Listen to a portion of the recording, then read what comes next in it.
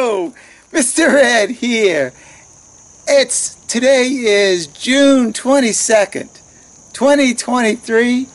It's seven o'clock in the morning. I'm here at the honey house and look what look what we got right here. This this is just amazing. You know, I, I set I set traps out here at the honey house every year. I set traps out here, and, and when you get a situation like this, where the bees decide to move into underneath the trap instead of inside of the trap, it's just like, why do they do that? I, I, I don't have an explanation to why they do it, other than the queen went underneath there, the bees went under there with her, and she didn't want to go in the box, so they said, well, let's just build our hive right here. Now, these bees have been here for three weeks, because it's been three weeks since I've come out here last. I came out here yesterday, and I saw this, and I, I don't want this hive to get so large underneath here that, that I would have to do a really, really removal at that point. So I decided to come out this morning and go ahead and take care of it. I'm a, I'm a move the camera to show you just how large this swarm is. And I know there's comb underneath here, but uh, how much comb, I, I don't know.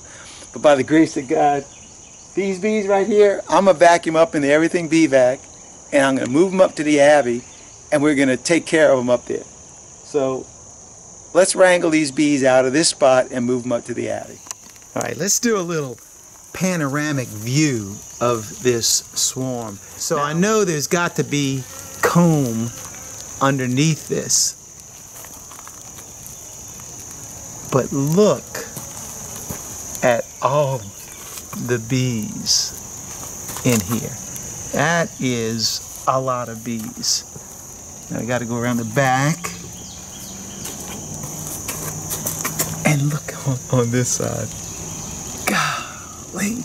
Now when I came out here yesterday, there weren't this many out here.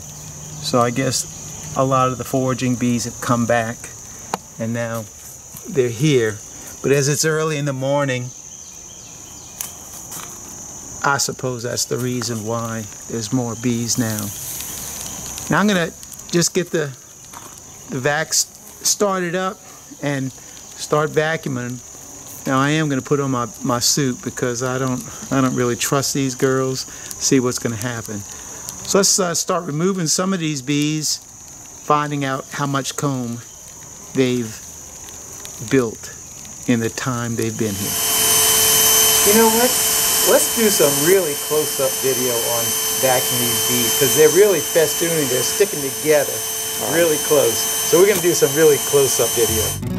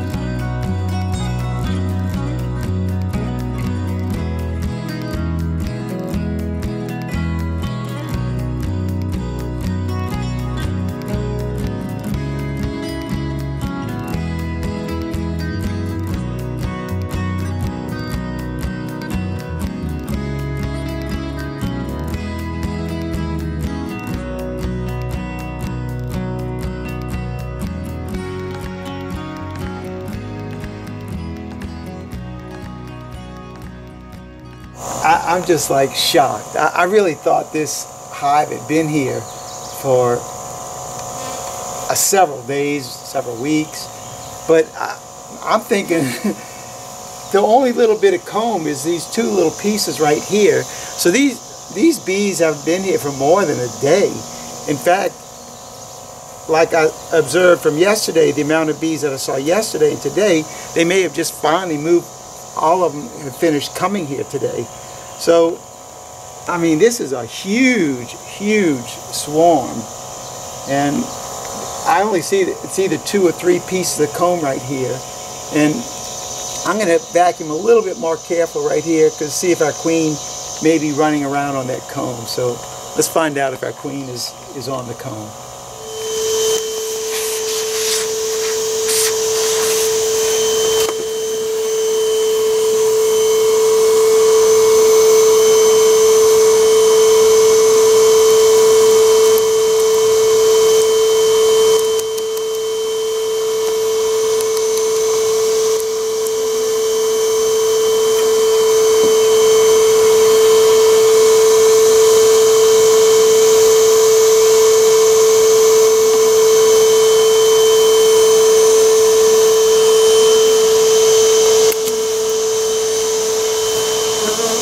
She is. Look at her.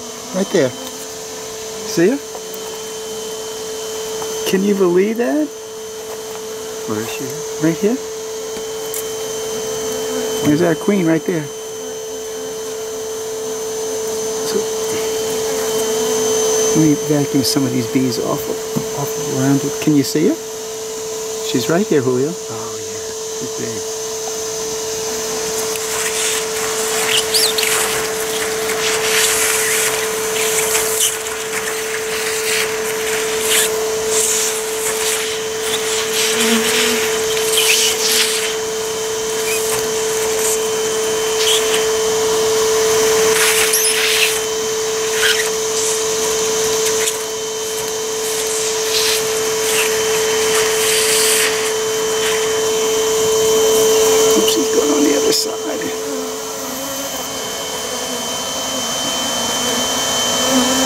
came back.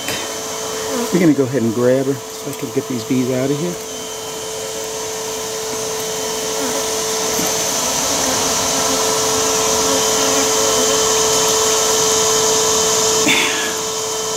Got it now.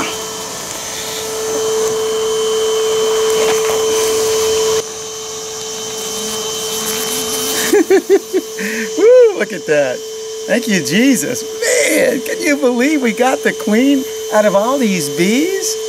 Unbelievable. All right, let's finish vacuuming them up. I cannot get over how easy that was because I, I, was fully expecting to see eight, ten pieces of comb underneath there. Man, so very, very good.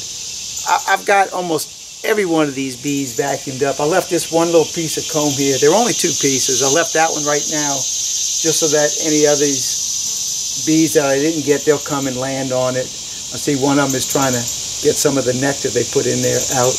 I'm, I'm gonna get these things, uh, vacuum these bees out of here in just a few more minutes, probably about five or ten minutes, and then head up to the abbey. So let's go up to the abbey and show you what I'm to do with these, with this swarm up there. See y'all up at the abbey.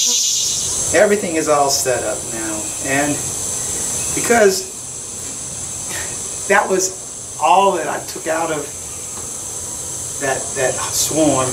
I didn't even want to go ahead and, and put that in, in the comb, uh, frame that up. Uh, it's just, there was absolutely nothing in it other than, well, let me show you, there's some pollen in there. Uh, so they get some pollen stores. And on this one, I actually saw uh, there's two or three cells with nectar in it. So there really, there really isn't any any value in this. I mean, there's wax, there's value in it, but what I've given them instead of that, it, it definitely is a more help to them than that would have been.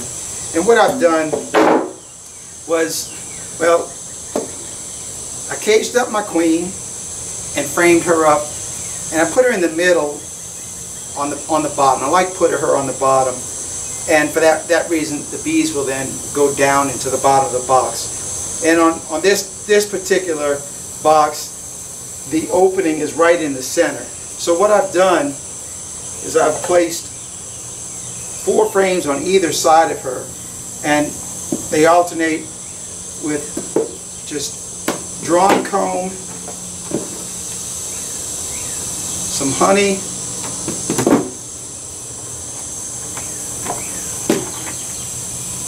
drawn comb, and more honey. Now I think I'm going to change that up. I think I'm going to put the honey on the outside. I like that better. Give them something to do right away.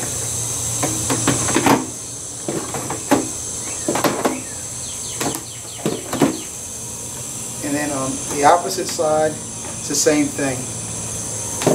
A frame of drawn honey frame of drawn comb, another frame of honey, and then another frame of just old fruit drawn comb. So there's our setup right there. And our queen slap dab right in the middle. So that's it. That's our setup. And let's go ahead and turn these bees loose, get them in this box, see how long it takes them to get set up. And I, I love doing that. The first shake, I always use the screen from the back because all the bees have landed on top of it and you get a nice big cluster. Look at that, a nice big cluster of bees. And this, this will be the initial shake that goes in there. And try not to disturb them too much. And that way we get a, good bunch of bees in there right from the very beginning. And with these bees in the in the box, man, there must there must have been 20,000 bees in this swarm. I mean, let me show you the bees inside of the bee bag. Look at this. Look how many bees are in there. My goodness, that is a lot. So now, let me just go ahead and pour some of them into the box. Look at that pile of bees. because I've got that big opening in the bottom. You saw that it, they all just rolled right into it.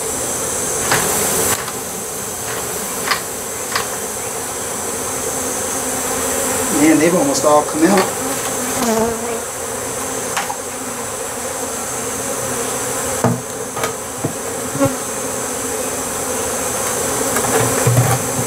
They really are, they're going down, and look at that, they're just going down inside Now I'm going to place my inner cover, not completely covered, but just a little bit, just allow the bees that are in the air to come back down onto it. So let's see how long this is going to take for all this to happen. All right, that's about all I can do for right now. It shouldn't take 10, 15 minutes at the most, and they'll all be in there. So I'll come back and show you what that looks like in about 15 minutes. you know, you just can't figure bees out, can you? Or at least I can't. So they decided not to stay in the box even though their queen was in there. But because the queen is in there, you I don't know if you can see the bees up in the air, but they've all pretty much, there's still some in the box, but they've all flown up in the air and acting like a brand new swarm, which they are, but their queen is down here. So hopefully they're gonna calm themselves down. Can you hear them? Calm themselves down and come on down because their queen is in the box and they should know that. Let's find out how this saga turns out. Just to show you, they, they definitely vamoosed, but their queen is still in the cage. I still think they're coming back.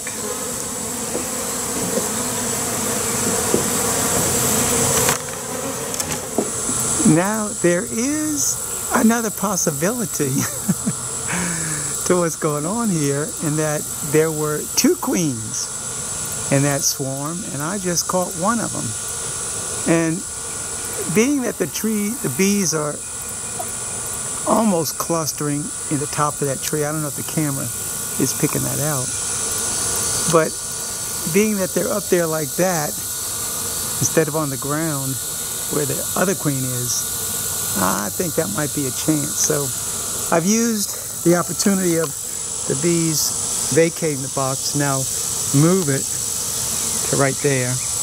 And there's a lot of bees flying all around it. So hopefully they'll communicate to the other bees. We'll have to wait an hour or two, I think, to find out what the end of this video is going to be like.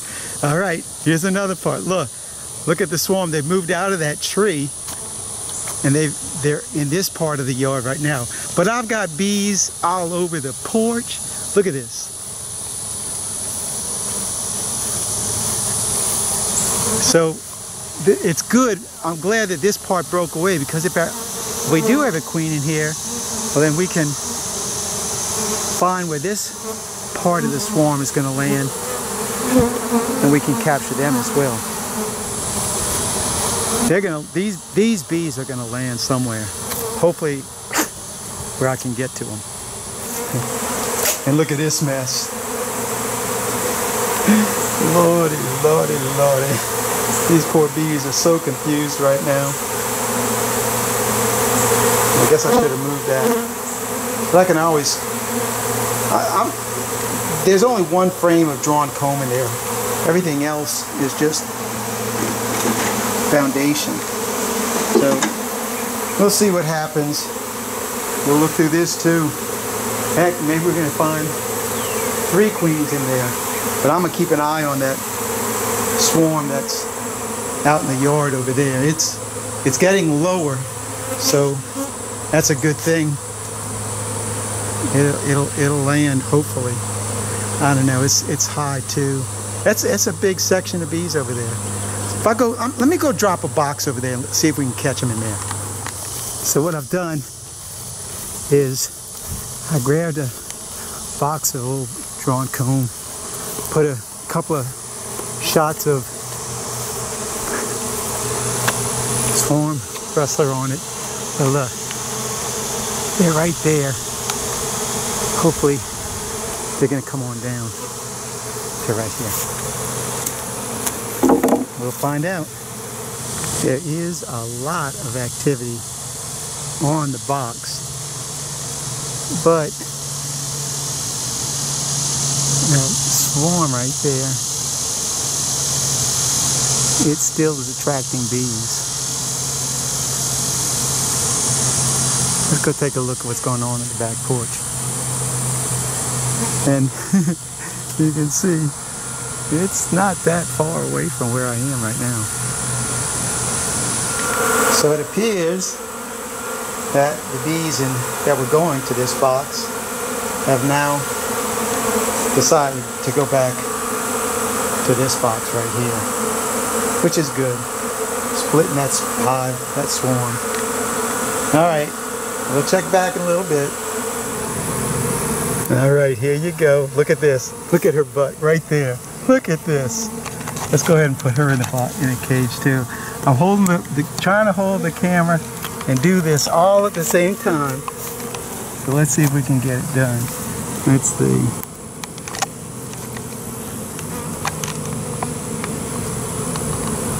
All right, there they are. Let's get that queen. I saw her. And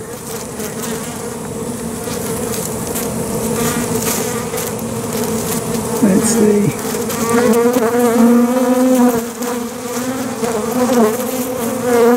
Let's see, where is she?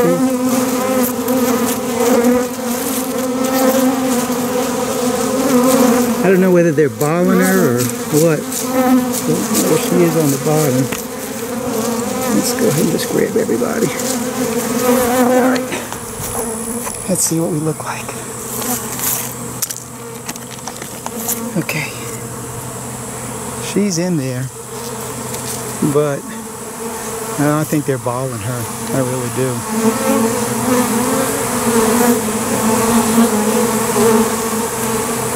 Or maybe not. Who knows? I'm going to set her right down here. Let's see if everybody comes down.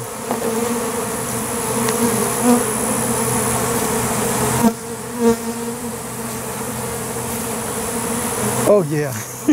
Thank you, Jesus. Look at look at this. I guess they weren't balling her. They were just trying to protect her. But we ought to have those, all those bees come on down shortly.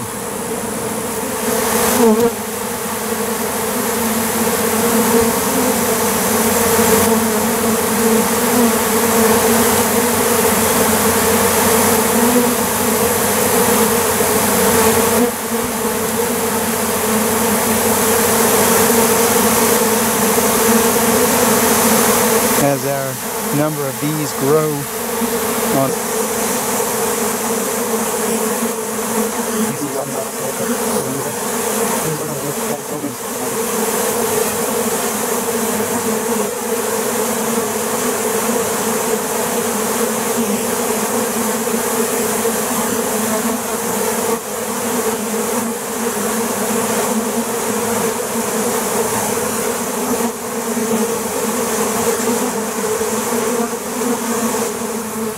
set the queen in the cage right here and set it down here for two minutes because I, I forgot to get the stand, so I went and got the stand for the camera. And look at the bees that have gotten on it. All right, let's let's move some frames and drop her inside of the, the box. Get these bees to get inside of our box.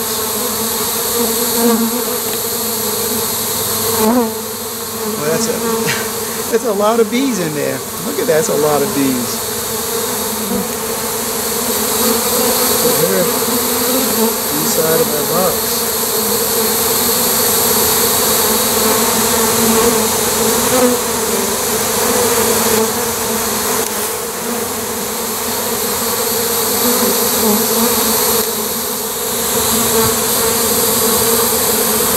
Alright, that's about all I can do for right now.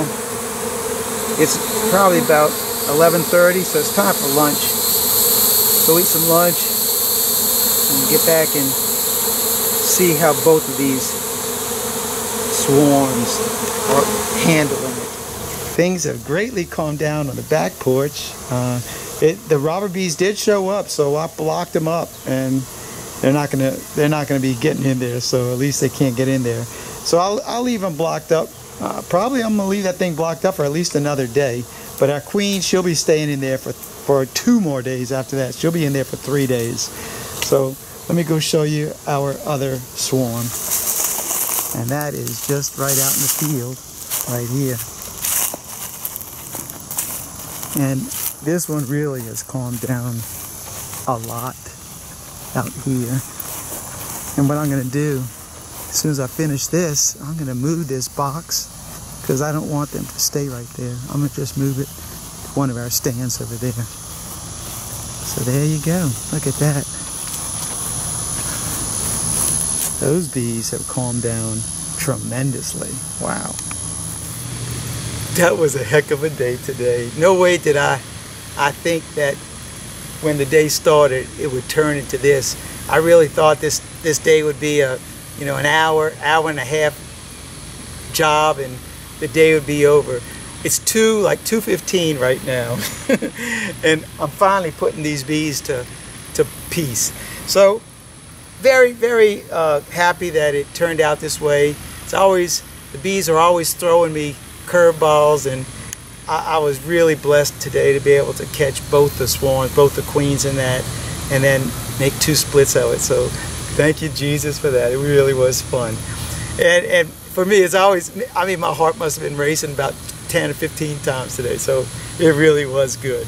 Now before I leave, I want to make one more comment uh, about an upcoming event. I'm gonna need my phone to help me do that. And on July 14th and 15th of this year in Quincy, Illinois, I'll be one of the many speakers at the Mississippi Valley Beekeepers Association, um, the ISBA Summer Conference.